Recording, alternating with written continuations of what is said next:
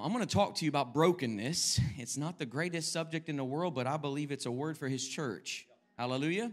And I know this to be a people that want to hear the word of the Lord. Um, and I could preach about a hundred different things, but I want to preach his word.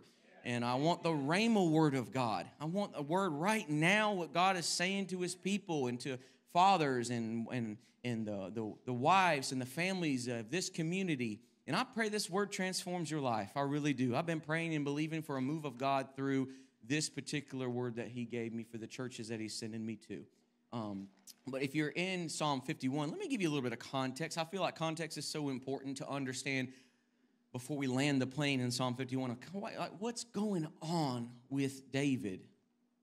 So, in this passage, we're given this very sensitive and vulnerable look into a rather broken time in King David's life. He's putting pen to paper here and bearing his heart to God in what sounds like this desperate plea for forgiveness and this humility as to who God is and who King David isn't. You see, King David has fallen. He's committed adultery and murder. And Nathan, the prophet of God, has come to expose him and remind him that God sees everything. Amen? Being as close to God as David was, how could it be that he would think that God would maybe turn his head from this sin or this time of disobedience in his life? Could it be that after all the years of hiding from King Saul, that maybe David had grown accustomed to hiding himself and thinking maybe God wouldn't see him? Nevertheless, we read this passage, and if you're like me, I, love kind of visualizing things. I'm a visionary, and I love kind of putting myself in certain circumstances and situations out ahead and kind of thinking through that process. And I believe if we can kind of go there a little bit about this context of Scripture, we can really start to feel and really start to see into the life of David through his words this real brokenness in the life of a man after God's own heart. Because that's who David is and was, right? He was a, a man after God's own heart. I don't see any other title in the Old Testament for an individual. Hallelujah. We're talking about a significant man here. And although this sounds like this could be and maybe should be the end of his story in the beginning reign of a new king of Israel, it's not. But why is that? Why can, why can a man commit such an act of, of sin and disobedience, but yet God still use him? Why didn't the Lord rip the very kingdom out of his hand that moment, as he did with many other kings in the Old Testament? Could this psalm give us some insight as a people of God, as children of God, as a nation after God? Could this give us some insight on how God deals with us based on our response to sin or disobedience or pains and traumas and troubles that this life brings? Could we possibly mine out some gold in the pain of this man's sorrow and see that in the midst of his brokenness, God can and God will still use him and still use us, his church in America, for his glory? Because I don't believe he's done yet. And I believe there's enough people that can have a heart response that God turns some things around. Hallelujah. Eh, eh, maybe you don't want things to turn around, but I believe I just heard enough amens that God can turn it around. Verse 1 Have mercy on me, O God, according to your unfailing love. This is the first response we see after the confrontation with the prophet. He comes right out the gate. Have mercy on me, O God. According, according to your unfailing love, according to your great compassion. Well, he's buttering God up, isn't he? I've been here before with God and with mom and dad. I've cried out many times to my old man, Have mercy, have mercy. Blot out my transgressions, wash away all my iniquity, and cleanse me from my sin. For I know my transgressions and my sin is always before me. Against you, you only have I sinned and done what is evil in your sight. He's, he's kind of realizing here, I know I haven't really hidden from you. I know you see me. So you're right in your verdict and justified when you judge. Surely I was sinful at birth, sinful from the time my mother conceived me. I mean, he is really laying it down right here. He's like, God, I was a baby and I was sinful. Like you, you saw me in that moment, so vulnerable, but yet sinful. God, have mercy. Oh, but yet you desired faithfulness even in the womb. You taught me wisdom in that secret place. Verse 7 Cleanse me with hyssop, and I will be clean. Wash me, and I will be whiter than snow. Let me hear joy and gladness. that would have been my cry. God, I, I don't perk my ears up. I need a little bit of joy and gladness in this season of my life. Let the bones you have crushed rejoice. Hide your face from my sin and blot out all my iniquity. Verse 10, he really starts to turn things around. Create in me a pure heart, O God, and renew a steadfast spirit within me. He realized he was broken at this point. You don't cry out for renewal unless you realize you're broken. Do not cast me from your presence or take your Holy Spirit from me. Man, this is terminology in Old Testament we didn't hear much. David being one of the few men that we can really give an account to that the Spirit of God rested and stayed on him. He realized that that was a significant difference in his life. And he's saying, Oh, don't take that presence from me. Don't take your Holy Spirit from me. Restore to me the joy of your salvation and grant me a willing spirit to sustain me. Then I will teach transgressors your ways so that sinners will turn back to you. Listen to verse 14. Deliver me from the guilt of bloodshed, O God. He knew the consequences of his behavior and he knew uh, he was seasoned enough to know enough about Jehovah that God could finish him at this moment. But deliver me, God, of bloodshed. You who are God and my Savior, and my tongue will sing of your righteousness, and open my lips, Lord, and my mouth will declare your praise.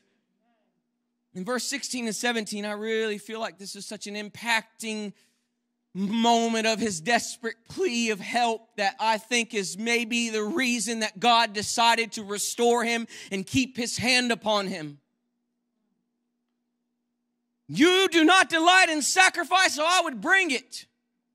You do not take pleasure in burnt offerings. You bet your bottom dollar King David would bring a sacrifice. Wasn't a ram safe around him. He would shed blood at any given thing. He was an extravagant worshiper with extravagant sacrifice. But yet he knew something that a lot of others didn't know at the time that God was after so much more than the sacrifice of an animal. Verse 17, my sacrifice, God. Listen to him. The man that had extravagantly sacrificed for many, many years and burnt offerings and religious behavior and traditions upon traditions and establishment upon establishment. He built so much and done so much, but here he is in the last verse of this cry. He says, must sacrifice. So God is a broken spirit. I'm broken, God. And I'm broken and I have a contrite heart. It means that my heart is full of sorrow and full of humility, God. And you, God, you will not despise this life and this heart. Father, in the name of Jesus, seal this word in this place.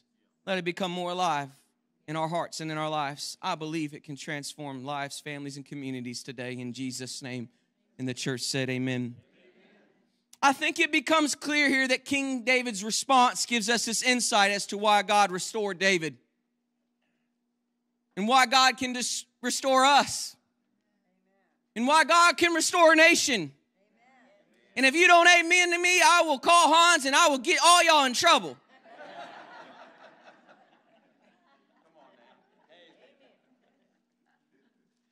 I watch this church all the way across the world. I know y'all amen. I hear y'all. I think it becomes clear here that King David's response gives us this insight as to how and why God restored David and really restored a nation. The nation went as the king went a lot of times. And he allowed him to continue with his assignment and walk in his calling. You know, it's after reading this passage that I can really begin to understand the scriptures that declare he gives grace to the humble. And that if we humble ourselves, which is a big difference, right? Anybody ever been humbled by God in here? Y'all bunch of troublemakers, ain't y'all? First service ain't soul raised their hand. Anybody here is like happy. I'm like, yeah, God's humbled me. There's a big difference in you humbling yourself and God humbling you. If we will humble ourselves, He will lift us up. What does that mean? Exactly what it says. He won't let you stay down in the miry clay. He will exalt you in due season. What's that mean? Exactly what it says. He'll promote you, lift you up, put you on uh, in a place of influence and give you a ministry and bless your family and let the favor of God rest on you. Huh? Anybody want some of that? I need some of that. But I want to propose that I believe the answer to brokenness or the broken seasons of this life, the life that we live, seasons of pain and trauma and grief and uncertainties, even sin and disobedience. I believe that humility and brokenness can and should walk hand in hand together. You know, I've walked with the Lord now for over 15 years, and I've experienced brokenness in different seasons of my time with Him. And really, the last four years overseas in the country that we live in, it's really a post COVID world, have only brought me to a place where I'm beginning to realize how broken we all really are and how we all so desperately need Jesus. And if you haven't figured it out by now, let me be the first to introduce you to a very fragile world that will teeter totter at the very tip of anything that throws it into an imbalance. And if there's one thing that's stable, I'm here to tell you it's still Jesus. It's His church that the world should be looking to and say, How? Why? I don't understand.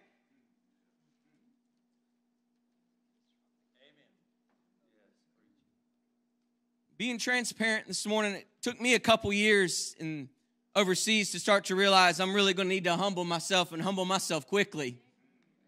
And a lot of you in this room have been there with me and walked those streets, and you realize the amount of brokenness there and and what you experience and what you go through and how it pulls on you and mines out certain things in your life that you thought you had long ago buried.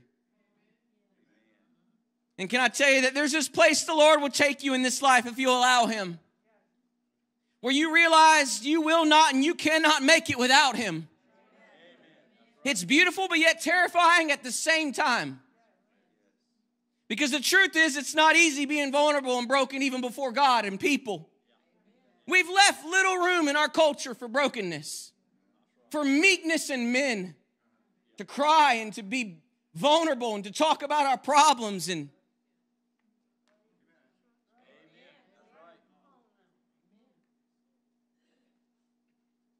We tend to think that we can still ourselves, as a church, as a nation, hide from God. I'm reminded the first thing that Adam did when the realization of his sin was go in hiding. You know, David was on the rooftop during a season of war during this time in his life. You know, it's extremely important to be in the right place in the right seasons in this life as a Christian. You know, there's speculation about this passage, and there's a lot of commentary out there. And as I've studied it and unpacked it and begin to get an understanding, there was a little bit of unity on this one thing, and that was this that in this season something was wrong with King David. Potentially, he was just broken. He was desperate. He was depressed. He was vulnerable. He was complacent. He had insecurities. He had possible signs of being just not himself. And he could not go out to war and lead a nation. And he could not represent himself before his men as this warrior. And so he stayed behind.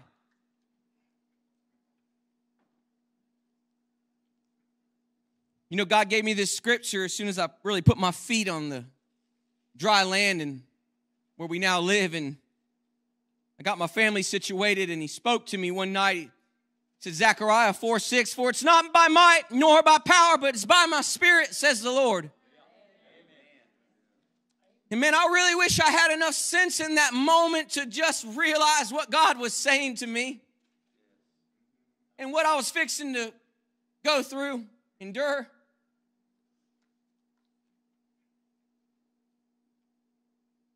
I feel confident to share with you this morning. I've definitely experienced brokenness in this life. But I can stand here and I can tell you that in the brokenness and the despair and the uncertainties that this life will bring, because it will rain on the just and the unjust. And if you don't think you're going to go through some things, you just keep on living.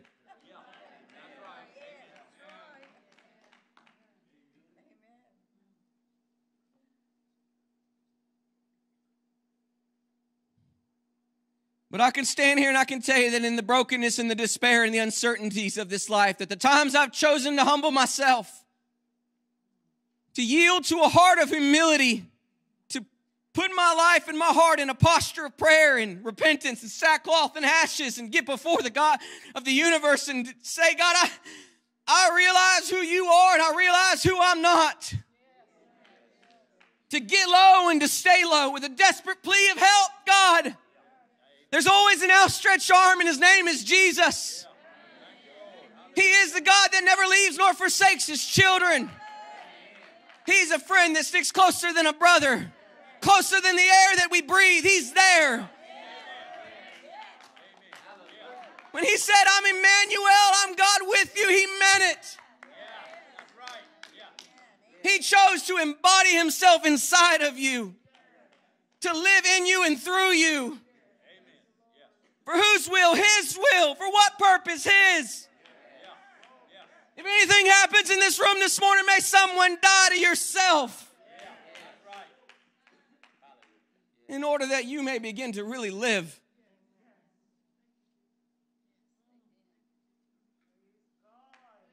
And I feel like someone needs to hear this this morning. God uses broken feet people. He uses broken marriages. He uses broken homes. He uses broken hearts. He is near to the brokenhearted. He does not despise your brokenness. He can use it. It's in your weakness He's made strong. I know that uh, we want to read that differently. We want to read it like it's in my great personality that God can really use me. It's in my charismatic attitude and my ability to just be so smart that God can really put His anointing on my life. Oh, my name, that great pedigree that's been passed down, that's where God can show Himself. Doesn't say it. And I don't know why, but His ways are not my ways and His thoughts are not my thoughts. But in the weakest moments of your life, God shows Himself to you because he won't share his glory with any other. And if it were not for the Lord, if he didn't show up, if he didn't touch your marriage, touch your life, and save your children, come on, somebody. He's gonna get the glory. He's gonna be the one that your lips testify of. That when you go to praise him, you'll say, if it were not for the Lord. For it's not by might, nor by any power that you can muster up. It's always by His Spirit. You're here today, alive today, living with a purpose today because of Him. Don't you forget it. Don't you let go of that. Keep that hunger and that desperate and humility in your lives. If it's anything we need as a people of this great nation, it's a dose of humility. And please drink it yourself because when mom and daddy come around, make you drink that cough medicine. Boy, I think it's a hilarious thing when my wife has to give Mercy some cough medicine. you ain't never seen a kid with gag refluxes like that. Boy, she will, it is coming up and out. I promise you that. Everybody know you testify right now with me. You know exactly what I'm talking about. I'll be like, God, I'll take that bottle. I will do it myself. I will humble myself. I realize who you are and who I'm not.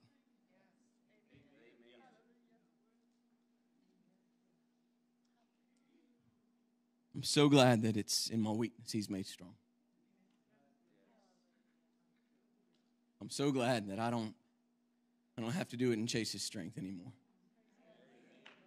The lessons that I've learned and the road that I've had to walk. It ain't been No different than you in, in this room. Life is hard. Nothing easy about it.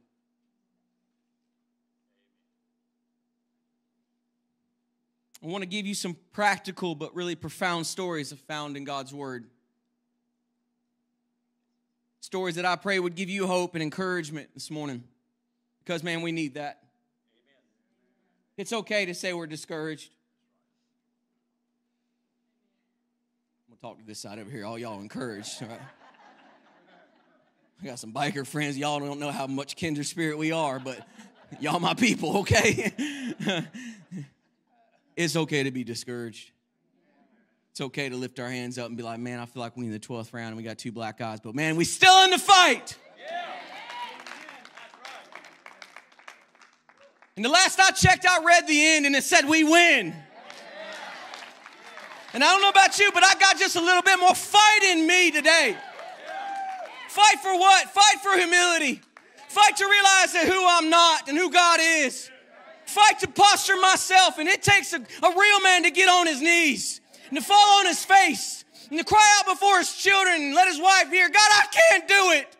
And I refuse to lead without you, and I refuse to go without you, God.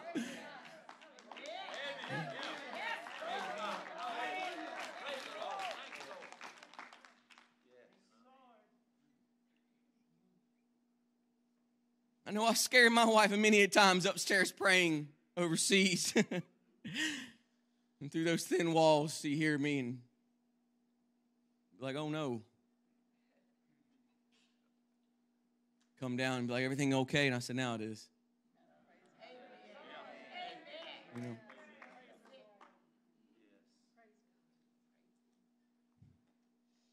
I want to utilize the time I got left to give you something to chew on for the week, if that's okay. Do a little Pastor Hans on you, preach, stomp, get you fired up, and then be like, all right, y'all sit down, we'll teach a little bit. I'm a lot like him more than I ever thought now. Just watching him for so many years. He's as good as it gets. He's a good one. I talk to my people, you know what I mean? I know who y'all are, y'all country jokers.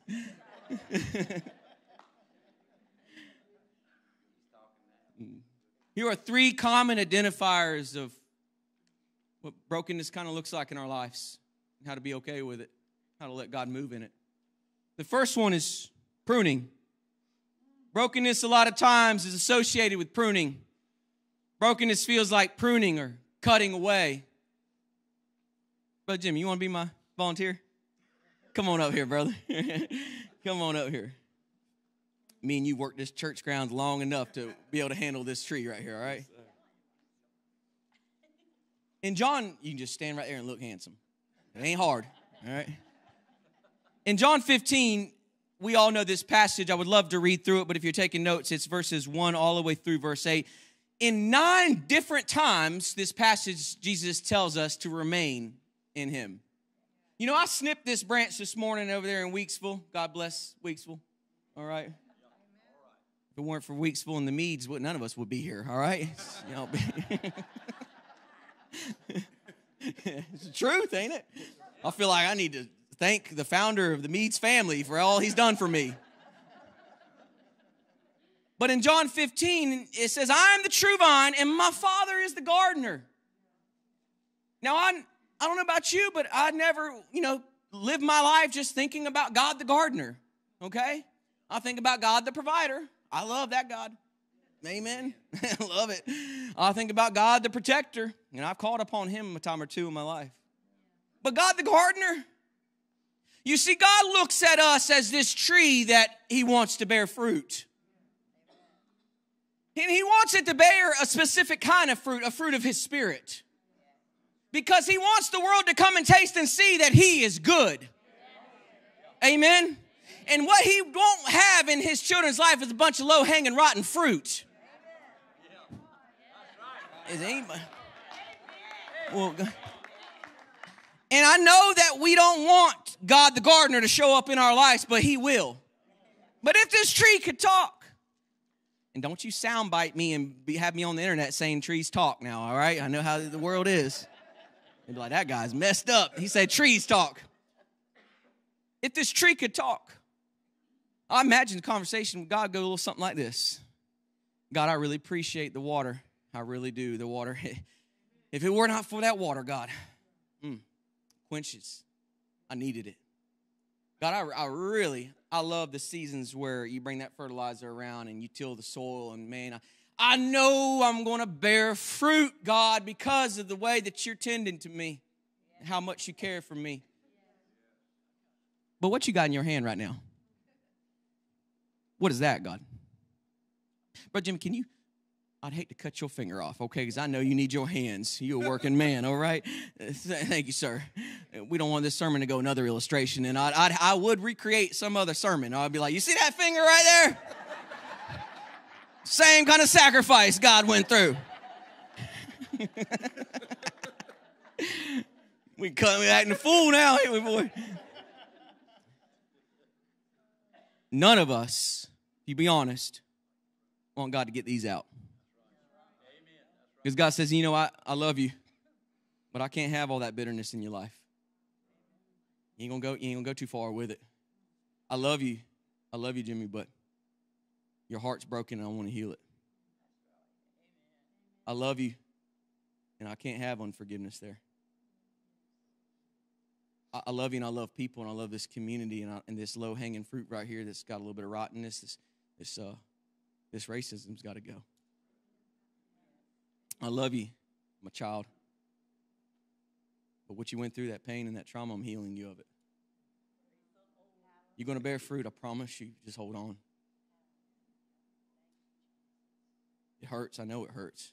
Ain't nothing fun about amputation. You will remember like the like the pains of someone who gets their legs cut off or their arm cut off and they feel the shadow pains of what once was that's not there anymore, but they got it right here. I'm going to heal that.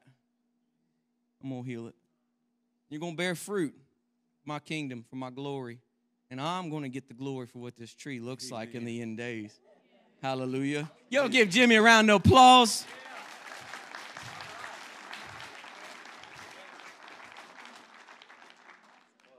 You know how hard that was for him. He don't like attention. All right? You know, remain means don't uproot yourself. To remain is a faith response in our lives. Remaining in a situation in order to grow is the abiding. Now, I'm not the smartest person in the world, but that deserved an amen right there. I, you know how hard I thought about that comment? I'm going to say it again because some of y'all slow, I can tell.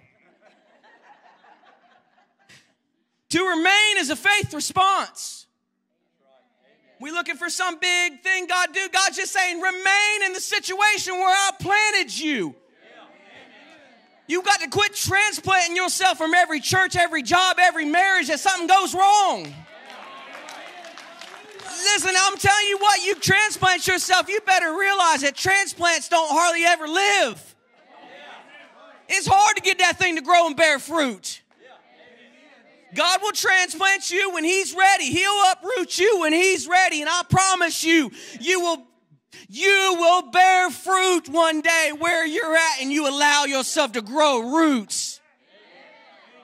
I can't tell you how many times I'd wanted to pack my bags from this church and leave, uproot myself because someone said something to me, someone looked at me a certain way, someone said something to my wife. I can't tell you how many times I've wanted in the midnight hour to pack my bags overseas and say, God, I can't do it anymore, and I won't do it anymore, God. And God said, I'm calling you to remain. I'm asking you to, to dig roots and dig them deep. Don't transplant yourself, Chase. Don't you give up. If you faint not, you'll reap in due season.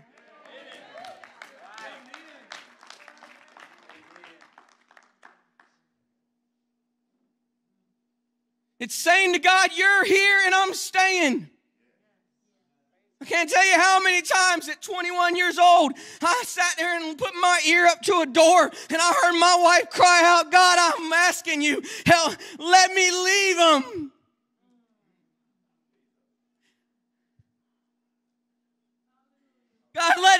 Him, I'm done. And God speak to her and say, Stay, remain, dig roots. I'm going to make him a righteous man.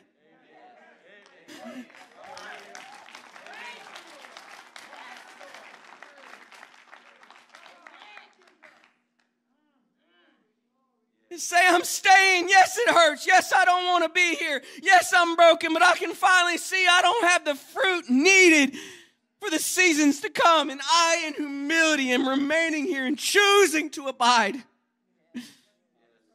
Allow you to take your word like a sword and prune the dead things off of me. So that one day fruit will hang from this tree of life. Oh, what would the tree say if it could cry out?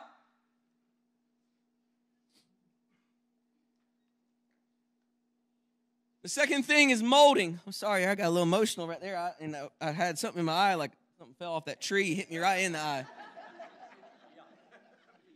Like allergic reaction or something. At least it wasn't the first service. I had one piece of fruit hanging from the tree and it fell as soon as I went to say something. I was like, my goodness, is my fruit fell. Anybody got a tree in your back pocket with a pear growing on it? This one didn't have any fruit. I must be back here in the green room. I don't know. Anybody ever bought this stuff right here? Anybody ever bought too much of it? Anybody ever bought it and thought it should last longer? Come on, somebody. Brokenness feels like reshaping and smoothing out the cracks and the breaches of our lives. Brokenness is associated with needing to be repurposed, and we're given the wonderful description in Jeremiah 18 is that God's a potter and we're the clay. God's the gardener and God's a potter. And he tells Jeremiah, he said, Come down to the potter's house, and you are the clay, put yourself on the potter's wheel. And the beautiful thing about clay, if it will stay in the hand, it will become moldable and usable for a purpose that it's designed by the Creator. If I can just keep pressing it, if the clay could cry out, what would it say? It'd say, Man, ease up on the pressing, brother. Jesus cried the same cry, pressed like an olive in the Garden of Gethsemane. God, is there any other plan? Do you got anything else in mind for the clay? Because, man, you are pressing me right now. Pressed him so hard, blood came out of his pores like an olive. And as long as the clay stays in the hand, it can be used. The moment you let it out of your hand and it gets into certain circumstances and situation, it does what? It's hard. Now, I'm here today to tell you, and I know who you are, but I just don't know who you are. But I know God shared with me there's going to be people in front of me. You have a hardened heart. One of the most difficult things as a minister that I've dealt with over almost 15 years is coming before someone knowing the change that they need and the words that would bring life to them, but their heart is hardened. And life has seemed to find its way into you that you just have just gotten bitter and aggressive and angry and unforgiving, and you've allowed You've allowed yourself to stay away from the potter's wheel for too long. The potter has an image in mind. He has a design for your life, whether you think he does or not. And if you will so allow him, he'll put you on the potter's wheel and with water and a gentle hand. You think I'm rough and you think I'm out of shape and you think I got cracks and breaches that cannot be repaired, but I'm here to tell you He'll repurpose you. Well, I've been through some things, Chase. He, you know, he knows and he sees. And don't think he can't repair. I know I got some hoarders in here. I can see it right now. Some of y'all North Carolinians, Elizabeth City folks. I ain't gonna ask the husbands raise a hand. Wives, is your husband hoard stuff? He'd just be piling stuff up in the backyard, the garage. He won't let it go. Every time you talk to him or her, they'll be like, I'm going to repurpose that. I see a purpose in it. And see, that's how God looks at me and you, Jimmy. Amen. Yeah, something was stolen in the garden that day, and it was his image off the life of Adam. But he said, I'm going to send my son, and he's going to pour out his blood, and I'm going to repurpose them. I'm going to put them back on the potter's wheel. I got an image in mind. Some of us need to get a hold of that today. That you, even though in your brokenness, there is one who sees a purpose. And in your pain, there is purpose. And in the trials and tribulations and the heartache and the sin and the disobedience of your life and your story, the potter is fully capable and able, if you so choose, put you on the wheel, begin to work you and mold you and change you. Because he never intended for your pot to leak the oil. He never intended for you to live with a crack or a breach all your days. He intended for your cup to overflow. You know, I like those pots that got the three holes on the bottom so the water runs through, but God ain't ever created you that way. He don't want the oil to leak out. He wants it to overflow.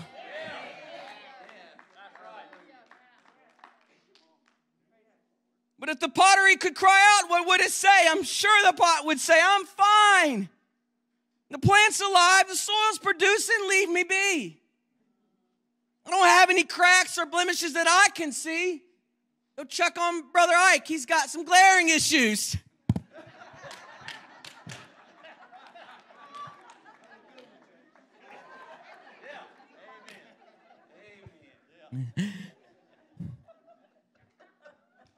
you mean this joker right here? It's true, though, right, brother? We do that, right? God, don't worry about me. Go check on so and so. I mean, they leaking oil and leaking fast. You ain't checked on their tree lately, Lord? There ain't no fruit. Don't worry about me. I'll tend to myself. Because the truth is, we as a culture and as Americans, we tend to look around at all the broken things around us and refuse to look what's broken inside of us. As men, we typically live our lives with seeing everything that needs to be fixed, but we never sit down and get on our knees and say, God, she ain't pumping right, Lord. And he ain't ticking right, God. And I need help.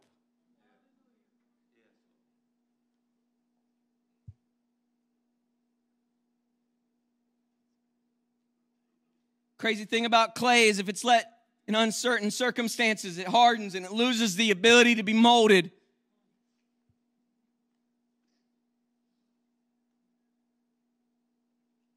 I don't want to hurt anymore. I don't want to trust anymore. Last time I surrendered something to God, it didn't go the way I thought it should go, and I just can't do it anymore. Go to the potter's wheel.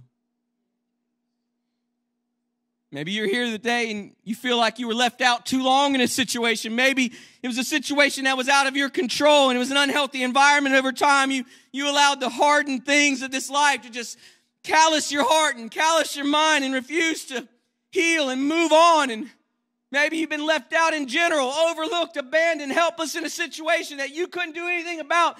I'm here today to, tell you that God saw you. He sees you in the pain that you might feel in the midst of your darkest moment. He was there. You still had to endure it. And I understand I don't know it all. I don't get it sometimes. But I've chosen to run to Him and not from Him.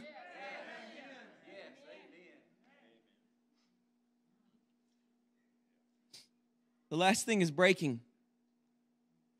Brokenness seems to feel like everything's falling apart.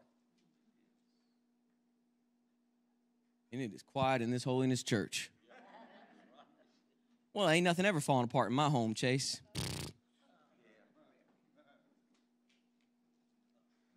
I know we don't want to talk that way and we don't want to be transparent that way, but half the time we're all falling apart.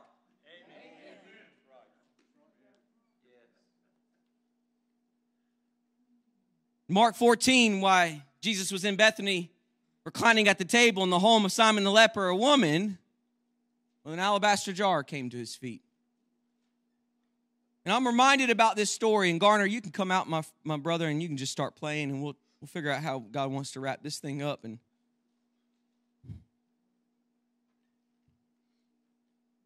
I'm reminded it always starts with Jesus coming into the living room of our heart. It always does. I wish there was some other way I could tell you, but there's not. It's always about this invitation to come and sit and dwell. Let your presence do something in my midst. He never asked her for anything. She just sensed it was time. He never told her, This is what I require of you. She just knew your presence is demanding something. And Jesus does that in different seasons of our life where he shows up uninvited and unannounced and comes in and sits back at the table in the living room of our hearts and we feel and we sense to bring everything we have to Him. The most precious thing that we could absolutely have in our life in that moment, we bring to the feet of Jesus and we break it. And Jesus says, because she did what she did, her story will always be told. In the breaking, your story goes forth. Well, God can't use that part of my story. You bet your bottom dollar He can. He'll do it. Won't He do it? There's enough people in this room that I know, won't He do it? Well, that was the most difficult season of my life when my alabaster jar got broken.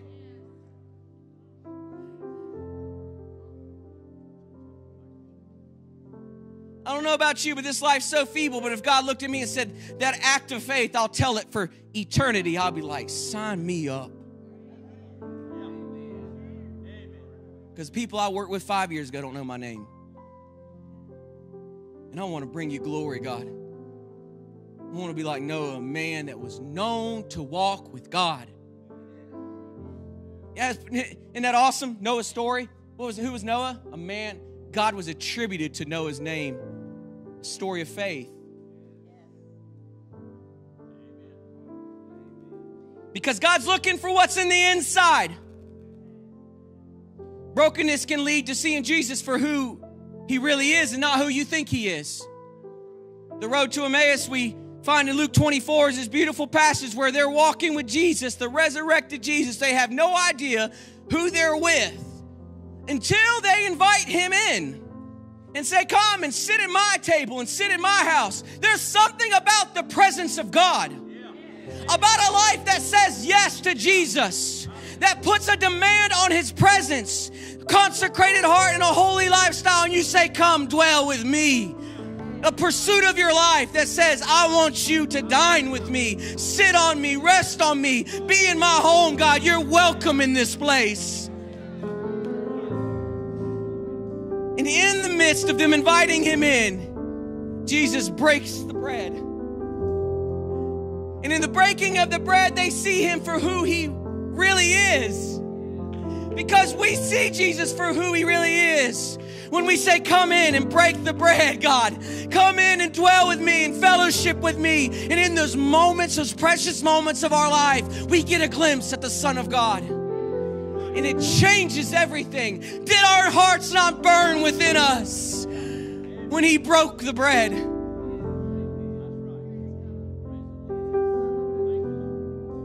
Brokenness, the last thing but the hardest.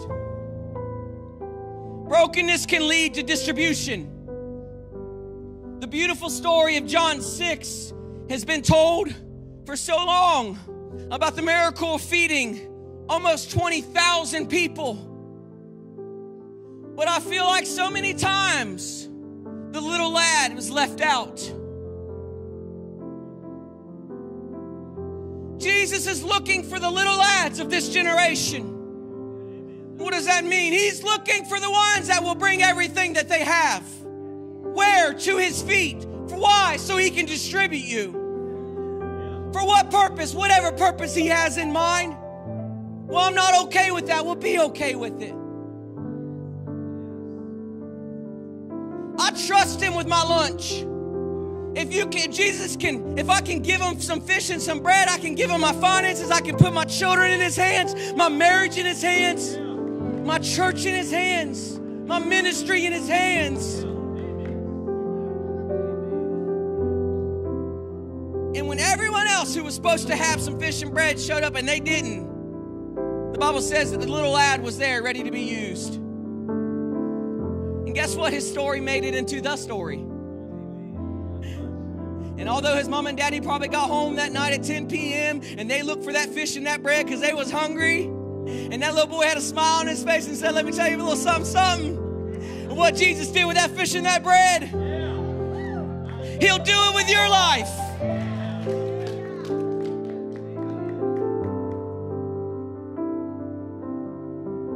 Because ultimately,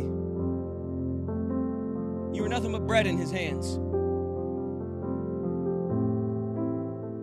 You were bread in the hands of the Lord. For what purpose? So he can distribute you. Why? So people can taste and see that he is good.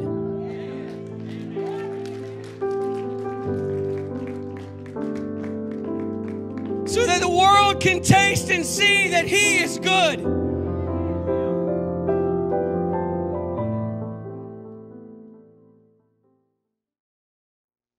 Thank you so much for listening today, watching with us, opening your heart to the Word of God. It's my highest honor to preach the Word. Our church exists to reach people like you. That's why we exist, to be able to communicate the gospel to the entire world. God has given us such an amazing outreach here to be able to do it this way through the internet and stuff. It's just, it's just absolutely amazing. So I pray that God has touched you today that God has ministered to you. And I want to pray for you right now. If you need to accept the Lord into your heart, give your life to Jesus, or if you need healing in your body or healing in your mind, I want to pray for you right now. Could you join with me? Come on, just make this declaration Jesus, I believe you are my Lord and my Savior. I repent of all sin and I commit my life to you right now in Jesus' name.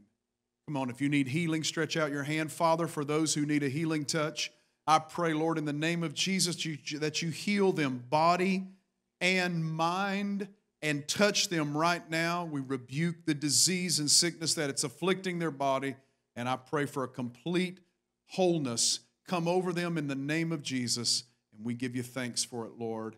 In Jesus' name we pray. Come on, give him praise right where you are. Thank God for everything He's done in your life. Tell somebody what the Lord has done for you. We love you guys, and it's a privilege to come to you.